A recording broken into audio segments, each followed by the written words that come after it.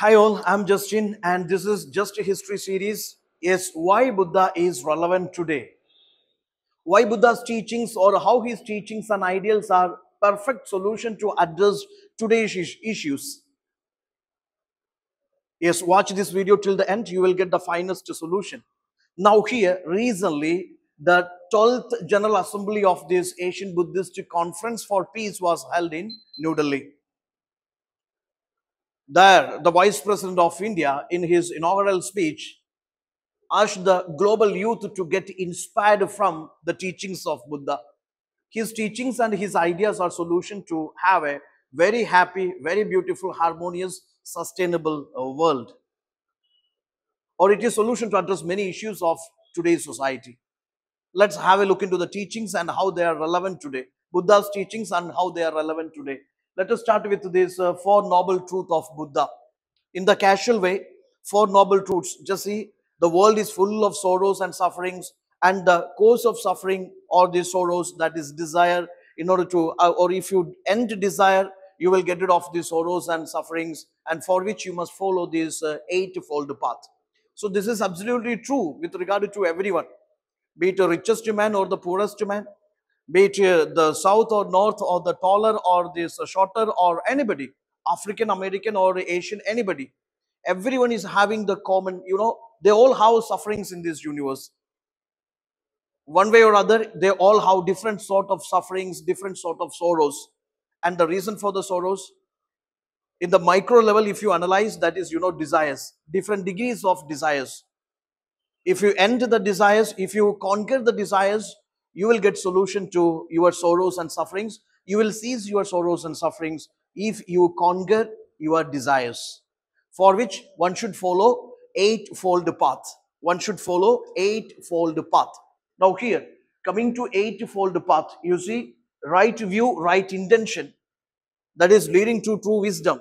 Right view right intention.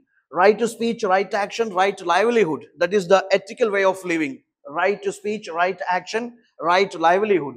Then this right effort right mindfulness right concentration. That is you know giving you the best uh, mental health or mental discipline. Okay these are the things these are the eightfold path that is required for living a very ideal life or that is a solution to address many of the things in modern society modern economy. Okay let's have a look into this right speech having right speech means you are getting solution to many tensions. Look into the social media. Okay you have different different social media platforms. Uh, hate speech is there or maybe what is called a different kind of this you know character assassinations and uh, like uh, verbal abuses. So many things are happening. Even leading to many like what what is called a different like you know verbal wars and all. Okay so this right to use or right to use right to speech right use of words or wisely usage of words that is a solution to many of the tensions okay?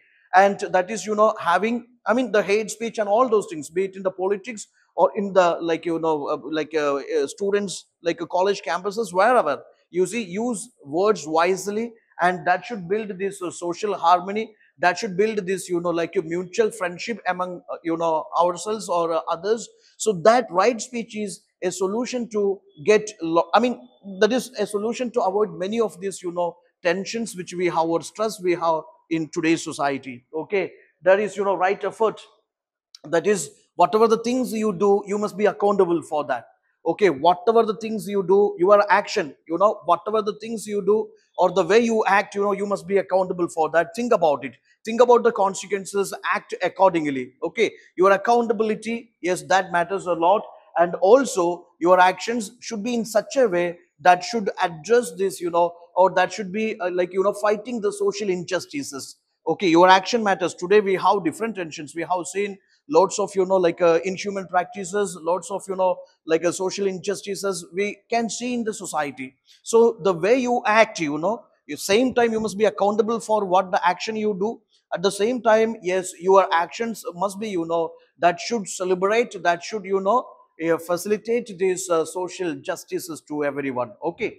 So similar way right livelihood. Your livelihood or maybe the way you live that should not lead to the tensions here you know deforestation or maybe this uh, uh, what is called this uh, burning of the fossil fuels or maybe this uh, greenhouse green greenhouse gas emissions or the pollutions or maybe you whatever the things whatever the climatic changes and the related problems which we create today it is because of our actions or maybe it is because of you know that a profit i mean we are people. Yes we want to uh, earn more profits out of it and uh, we do damage to our environment our society. There is deforestation there is pollution related things are there. So many things we are doing. Mncs are there. They don't have any accountability or uh, any environmental ethics nothing you see. So that things has to be regulated that things has to be taken care of okay? Similar way here you could see that impermanence non-attachment okay? We if we are attached to something too much you know there will be uh, obsession there will be possession possessiveness there will be desire there will be greed so many things are there. So please try to understand what buddha taught is everything is transient everything is subject to change everything is impermanent in this world if you understand that way it's a solution to many of your tensions here your over possessiveness or maybe your uh, greedy attitude or your selfishness all those things you will get it off it okay so take care. This is again very important.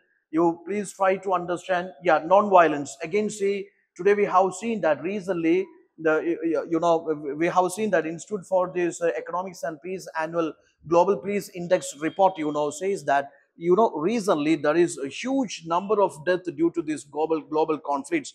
Then we have seen there is russia ukraine war israel palestine war iran pakistan war. So it all resulting in this you know lots of death and uh, yes, killing of this you know like a very like a, what is called uh, innocent people. So instead of wars and violence and uh, what we need is you know that is very harmonious peaceful you know yes uh, dialogues conversations which we require in order to maintain that peace and stability of the world. Okay. So this way just try to understand the teachings and these uh, like you know ideals of buddha. It's a solution to how a very sustainable very peaceful very harmonious or very balanced you know environment economy and society. Okay. So here this way you can apply more into your answers or into your like you know notes etc how these people and how they are like relevant today. Even these uh, historical people or these great personalities of the world their teachings are even relevant today. Okay just go for it. This series will continue. All the best